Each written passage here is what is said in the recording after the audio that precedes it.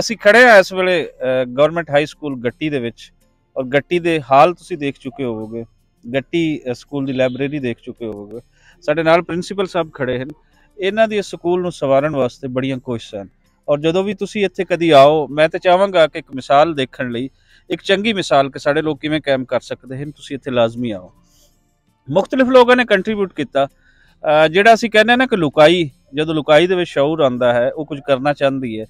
ਤੇ ਫਿਰ ਹੋ ਜਾਂਦਾ ਹੈ। ਔਰ ਅਕਸਰ ਇਹ ਵੀ ਕਿਹਾ ਜਾਂਦਾ ਹੈ ਕਿ ਆਪਣੇ ਤੌਰ ਤੇ ਨਹੀਂ ਹੋ ਜਾਂਦਾ ਕਰਨਾ ਪੈਂਦਾ ਹੈ। ਬਾਰ-ਬਾਰ ਮੈਨੂੰ ਉਸਤਾਦ ਦਮਨ ਯਾਦ ਆ ਰਹੇ ਨੇ ਸਾਰੀਆਂ ਚੀਜ਼ਾਂ ਉਹਨਾਂ ਦੇ ਕੋ ਹੋ ਨਹੀਂ ਜਾਂਦਾ ਕਰਨਾ ਪੈਂਦਾ ਹੈ। ਤੇ ਇਹ ਕਰਨ ਲਈ ਇੱਥੇ ਬਹੁਤ ਸਾਰੇ ਲੋਕਾਂ ਨੇ ਕੰਟਰੀਬਿਊਟ ਕੀਤਾ ਹੈ। ਇਸ ਲਈ ਇਹ ਸਕੂਲ ਸਾਨੂੰ ਬਹੁਤ ਸੋਹਣਾ ਸੁਚੱਜਾ ਨਜ਼ਰ ਆ ਰਿਹਾ ਹੈ।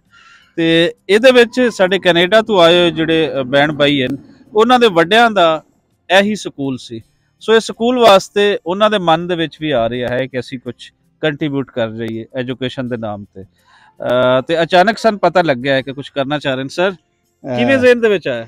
ਵੇਖੋ ਜੀ ਇਸ ਸਕੂਲ ਚ ਆ ਕੇ ਮੈਨੂੰ ਬੇਹੱਦ ਖੁਸ਼ੀ ਹੋਈ ਹੈ ਕਿਉਂਕਿ ਇਸ ਸਕੂਲ ਦੇ ਵਿੱਚ ਮੇਰੇ ਪਿਤਾ ਜੀ ਪਹਿਲਾਂ ਜਿਹੜੇ ਪ੍ਰਾਇਮਰੀ ਸਕੂਲ ਦੇ ਵਿੱਚ ਪੜ੍ਹਦੇ ਰਹੇ ਪਹਿਲਾਂ ਉਹ ਵਿਜ਼ਿਟ ਕੀਤਾ ਬਾਅਦ 'ਚ ਇੱਥੇ ਆਏ ਆ।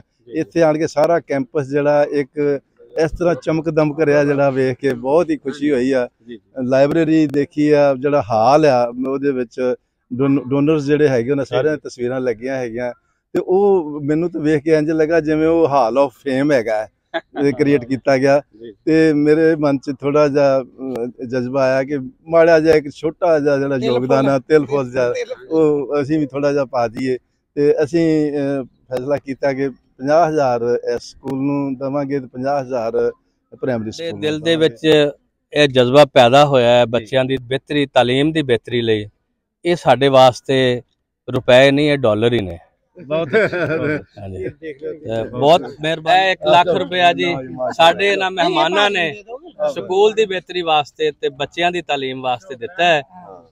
ਅੱਲਾਹ ਤਾਲਾ ਦੀ ਜ਼ਾਤ ਤੇ ਭਗਵਾਨ ਇਹਨਾਂ ਨੂੰ ਇਹਨਾਂ ਦੇ ਰੁਤਬੇ ਦੁਨੀਆ ਦੇ ਵਿੱਚ ਬੜੇ ਬੁਲੰਦ ਫਰਮਾਏ ਔਰ ਦੌਲਤ ਦੇ ਨਾਲ ਇਹਨਾਂ ਨੂੰ ਨਵਾਜ਼ੇ। ਇਹ ਬੱਚਿਆਂ ਦੀ ਖਿਦਮਤ ਹੈ ਔਰ ਇਨਸ਼ਾਅੱਲਾ ਤਾਲਾ ਅਸੀਂ ਵੀ ਇਹਨਾਂ ਦੇ ਜਜ਼ਬੇ ਨੂੰ ਸਰਾਹਨੇ ਆ ਔਰ ਇਹ ਇਹਨਾਂ ਦੀ ਰਕਮ ਮੈਂ ਹੁਣ ਹੀ ਹਾਜੀ ਅਲੀ ਅਹਿਮਦ ਜ਼ਫਰ ਸਾਹਿਬ ਦੇ ਹਵਾਲੇ ਕਰਨਾ ਕਿਉਂਕਿ ਮੈਂ ਅੱਜ ਤੱਕ ਇਹਨਾਂ ਕੋ ਵੀ ਪੈਸਾ ਨਹੀਂ ਫੜਿਆ ਔਰ ਇਹਨਾਂ ਨੇ ਆਪਣੇ ਹੱਥਾਂ ਨਾਲ ਪੈਸਾ ਲਾਇਆ ਹੈ ਇਹ ਪੈਸਾ ਵੀ ਆਪਣੇ ਹੱਥਾਂ ਨਾਲ ਹੀ ਲਾਉਣਾ ਇਸ ਹਵਾਲੇ ਨਾਲ ਇੱਕ ਸ਼ੇਰ ਹੈ ਜੀ ਜੀ ਹਾਜੀ ਸਾਹਿਬ ਕਿ ਕਹਿੰਦੇ ਆ ਕਿ घर से मस्जिद है बहुत दूर चलो यूं कर लें घर से मस्जिद है बहुत दूर चलो यूं कर लें किसी रोते हुए बच्चे को हंसाया जाए ਵਾਹ ਜੀ ਵਾਹ। ਇਹ ਰੋਤੇ ਬੱਚੇ ਨੂੰ ਹਸਾਉਣਾ ਇਹ ਤੁਹਾਡੇ ਕੋਲ ਦੂਸਰਾ ਤੁਸੀਂ ਅਮੀਨ ਹੋ ਸਕੂਲ ਦੇ। ਤੁਸੀਂ ਅਸੀਂ ਹਾਲ ਦੇ ਵਿੱਚ ਉਹਨੂੰ ਲਾਉਣਾ ਚਾਹੁੰਦੇ ਹਾਂ। ਚਾਰੇ ਮਹਿਮਾਨ ਜਿਹੜੇ ਸਾਡੇ ਬਾਹਰੋਂ ਆਏ ਇਹਨਾਂ ਦੀ ਅਸੀਂ ਤਸਵੀਰ ਲੈ ਕੇ ਇਨਸ਼ਾਅੱਲਾ। ਹਾਲ ਦੇ ਵਿੱਚ ਲਾਉਣਾ। ਚਾਹੁੰਦੇ। ਉਹ ਉਹ ਜ਼ਰਾ ਤੁਸੀਂ ਇੱਕ ਮਿੰਟ ਬੈਨ ਜੀ ਤੁਸੀਂ ਕੁਝ ਕਹਿਣਾ ਚਾਹੁੰਦੇ ਇਸ ਬਾਰੇ ਨਹੀਂ। ਇਹ ਨਹੀਂ ਇਹ ਨਹੀਂ ਇਹ ਬੜੀ ਰਕਮ ਹੈ ਵਿੰਦਰ ਸਾਹਿਬ ਕਹਿਣ ਦੋ ਜੀ। ਰਕਮਾਂ ਬੜੀਆਂ ਨਹੀਂ ਹੁੰਦੀਆਂ ਸਰਦਾਰ ਜੀ ਦਿਲ ਬੜੇ ਹੁੰਦੇ ਨੇ। ਅਸੀਂ ਇੱਥੇ ਆਏ ਆ ਜਿਵੇਂ ਬਹੁਤ ਸਾਰੀਆਂ ਗੱਲਾਂ ਮੇਰੇ ਬ੍ਰਦਰ ਨੇ ਕੀਤੀਆਂ ਨੇ ਉਸੇ ਤਰ੍ਹਾਂ ਮੈਂ ਕਰਦੀ ਆ।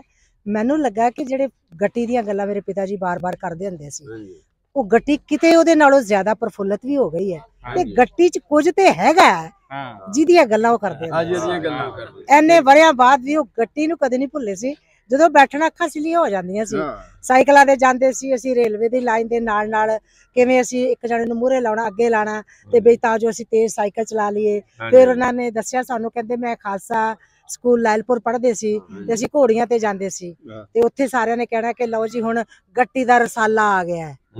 ਹਾਂ? ਸੋ ਇਹ ਲਫ਼ਜ਼ ਜਿਹੜੇ ਨੇ ਸਾਨੂੰ ਅਜੇ ਵੀ ਯਾਦ ਨੇ ਤੇ ਇਸੇ ਹੀ ਪ੍ਰਾਇਮਰੀ ਸਕੂਲ ਦੇ ਵਿੱਚੋਂ ਪੜ੍ਹ ਕੇ ਤੇ ਮੇਰੇ ਪਿਤਾ ਜੀ ਨੇ ਬੀਐਸਸੀ ਕੀਤੀ। ਬੀਐਸਸੀ ਕਰਕੇ ਫਿਰ ਇੱਥੇ ਉਹ ਇੱਥੇ ਉਹ ਜ਼ਿਲ੍ਹੇਦਾਰ ਸਿਲੈਕਟ ਹੋ ਗਏ ਸੀ। 1946 ਦੇ ਵਿੱਚ। ਜ਼ਿਲ੍ਹੇਦਾਰ ਸਿਲੈਕਟ ਹੋ ਗਏ ਸੀ ਉਹਨਾਂ ਨੇ ਜੁਆਇਨ ਕਰਨਾ ਸੀ। ਤੇ ਇਹ ਉਜਾੜਾ ਪੈ ਗਿਆ। ਅਸੀਂ ਇਹਨੂੰ ਉਜਾੜਾ। ਕਹਿੰਦੇ ਹੀ। ਉਜਾੜਾ। ਪੈ ਗਿਆ। ਤੇ ਤੁਸੀਂ ਹੈਰਾਨ ਹੋਵੋਗੇ ਕਿ ਜਿਹੜੀਆਂ ਅਸੀਂ ਉਹਨਾਂ ਦੇ ਮੂੰਹੋਂ ਗੱਲਾਂ ਸੁਣੀਆਂ ਕਿ ਬੁਰਕੀ ਬੁਰਕੀ ਨੂੰ ਤਰਸ ਗਿਆ ਉੱਥੇ ਜਾ ਕੇ। ਮੇਰੇ ਤਾਇਆ ਜੀ ਹੁਣੇ ਜਿਹੜੇ ਇੱਥੇ ਮਰੱਬਿਆਂ ਦੇ ਮਾਲਕ ਸੀ ਉੱਥੇ ਖੱਡੀਆਂ ਬੁਣ ਲੱਗੇ। ਮੇਰੀ ਦਾਦੀ ਜਿਹੜੀ ਲੱਸੀਆਂ ਦਿੰਦੀ ਰੱਜਦੀ ਨਹੀਂ ਸੀ ਉਹ ਕਹਿੰਦੀ ਸੀ ਅਸੀਂ ਲੋਕਾਂ ਦੇ ਘਰੋਂ ਲੱਸੀਆਂ ਮੰਗਣ ਜਾਂਦੇ ਸੀ ਤੇ ਉਹ ਕਹਿੰਦੇ ਸੀ ਰਫੂਜੀ ਆ ਗਏ ਨੇ। ਪਰ ਪ੍ਰਮਾਤਮਾ ਦੀ ਪਨਾਹਗੀਰ। ਕਿਰਪਾ ਪਨਾਹਗੀਰ। ਇੱਧਰ ਇੱਧਰ ਪਨਾਹਗੀਰ। ਨੇ ਸਾਡੇ ਰਫਿਊਜੀ ਕਹਿੰਦੇ। ਪੰਜਾਬੀ ਚ ਰਫਿਊਜੀ ਕਹਿੰਦੇ। ਪਰ ਪ੍ਰਮਾਤਮਾ ਦੀ ਬੜੀ ਕਿਰਪਾ ਹੈ ਕਿ ਉੱਥੇ ਰੀਹੈਬਿਲਿਟੇਸ਼ਨ ਚੱਲੀ। ਮੇਰੇ ਪਿਤਾ ਜੀ ਨੇ ਕਾਫੀ ਸਾਰਾ ਜ਼ਿਕਰ ਕਿਤਾਬ ਦੇ ਵਿੱਚ ਕੀਤਾ ਉਸ ਰੀਹੈਬਿਲਿਟੇਸ਼ਨ ਦੇ ਵਿੱਚ ਸਾਨੂੰ ਜ਼ਮੀਨਾਂ ਅਲਾਟ ਹੋ ਗਈਆਂ। ਪਰ ਅੱਧੇ ਉਹ ਡੂਡ ਹੋ ਗਏ ਇੱਥੇ ਤਿੰਨ ਮਰਬਿਆਂ ਦੇ ਮਾਲਕ ਸੀ ਉੱਥੇ ਇੱਕ ਮਰਬਾ ਮਿਲਿਆ। ਕੱਟ ਬੜੀ ਬਿਲਕੁਲ ਕੱਟ ਬਹੁਤ ਜ਼ਿਆਦਾ ਲੱਗੀ। ਪਰ ਫਿਰ ਵੀ ਮਿਹਨਤ ਦੇ ਆਸਰੇ ਸਾਡੇ ਦਾਦਾ ਜੀ ਦਾ ਸਰਦਾਰ ਠਾਕਰ ਸਿੰਘ ਨੰਬਰਦਾਰ। ਚੌਹਾਨ ਪਿੰਡ ਦੇ ਵਿੱਚ ਉਨੇ ਹੀ ਮਕਬੂਲ ਹੋਏ। ਜਿੰਨੇ ਕਿ ਗੱਟੀ ਪਿੰਡ ਦੇ ਵਿੱਚ ਸੀ ਸੋ ਉਹਨਾਂ ਦਾ ਮੈਨੂੰ ਯਾਦ ਹੈ ਕਿ ਉਹ ਸਾਡੀ ਹਵੇਲੀ ਦੇ ਬਾਹਰ ਇੱਕ ਮੰਜਾ ਰਾਤ ਨੂੰ ਡਾਂਦੇ ਹੁੰਦੇ ਸੀ। ਉੱਥੇ ਉਹਨਾਂ ਪੰਚਾਇਤ ਲੱਗਦੀ ਸੀ। ਮੈਨੂੰ ਉਹ ਬਚਪਨ ਦੀਆਂ ਯਾਦਾਂ ਹੈਗੀਆਂ ਨੇ ਜਿੱਥੇ ਪਿੰਡ ਦੇ ਮੂਹਤਬਰ ਆ ਕੇ ਬੈਠ ਜਾਂਦੇ ਸੀ। ਕਈ ਵਾਰੀ ਤੂੰ ਤੂੰ ਮੈਂ ਮੈਂ ਹੋਣੀ ਤਾਂ ਇੱਥੇ ਰੋਡੇ ਵਾਲਾ ਹੋਈ ਵੀ ਨੇੜੇ ਹੀ ਹੋਏਗਾ। ਉੱਥੋਂ ਦੇ ਸਰਦਾਰ ਮੂਲਾ ਸਿੰਘ ਜੀ ਸੀ ਸਾਡੇ ਬਾਪੂ ਜੀ ਲਾ ਨੰਬਰਦਾਰ ਸੀ। ਉਹ ਥੋੜੇ ਜਿਹਾ ਗਰਮ ਵਾਲੇ ਉਹਨਾਂ ਨੇ ਥੋੜੀ ਗੜਬੜ ਕਰਨੀ ਤਾਂ ਦਾਦਾ ਜੀ ਕਹਿੰਦੇ ਬਈ ਮੂਲਾ ਸਿੰਘ ਮੈਂ ਇੱਥੇ ਰੋਡੇ ਵਾਲਾ ਨਹੀਂ ਬਣਨ ਦੇਣਾ। ਸੋ ਨਾ ਗੱਟੀ ਵਾਲੇ ਨੇ ਸਲਾਹਾਂ। ਸੋ ਬੜੇ ਸਲੀਕੇ ਵਾਲੇ ਸੀਗੇ ਤੇ ਅਸੀਂ ਉਹਨਾਂ ਦੀ ਪੋਤਰੀ ਹੋਣ ਦਾ ਮੈਨੂੰ ਮਾਣ ਹੈ। ਸਰਦਾਰ ਵਰਿਆਮ ਸਿੰਘ ਦੀ ਬੇਟੀ ਹੋਣ ਦਾ ਮੈਨੂੰ ਮਾਣ ਹੈ। ਜਿਨ੍ਹਾਂ ਨੇ ਸਾਨੂੰ ਇੰਨੀ ਵੱਡੀ ਤਾਲੀਮ ਵੀ ਦਿੱਤੀ। ਮੇਰੇ ਭੈਣ ਭਰਾ ਸੀ ਪੰਜ ਭੈਣ ਭਰਾ ਹੈ। ਵੱਡੇ ਆ ਮੇਰੇ ਬ੍ਰਦਰ ਨੇ ਇਹ ਪੀਐਚਡੀ ਇਨ ਸਾਇੰਸ ਨੇ। ਲਾਇਬ੍ਰੇਰੀ ਸਾਇੰਸ ਮੈਂ ਗੁਰਚਰਨ ਥਿੰਦ ਦਾ ਮੈਂ ਮਾਸਟਰਸ ਇੰਗਲਿਸ਼ ਹਾਂ। ਮੇਰੇ ਤੋਂ ਛੋਟੀ ਮਾਸਟਰਸ ਪੰਜਾਬੀ ਹੈ।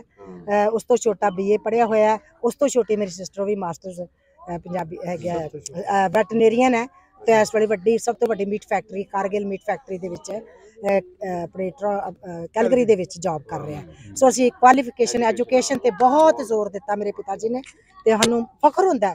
ਜਦੋਂ ਅਸੀਂ ਪਿੰਡ 'ਚ ਪੈਰ ਧਰਿਆ ਨਾ ਅੱਖਾਂ ਆਪ ਮਹਾਰੇ ਵਗਣ ਲੱਗ ਪਈਆਂ ਪਤਾ ਨਹੀਂ ਕਿਉਂ?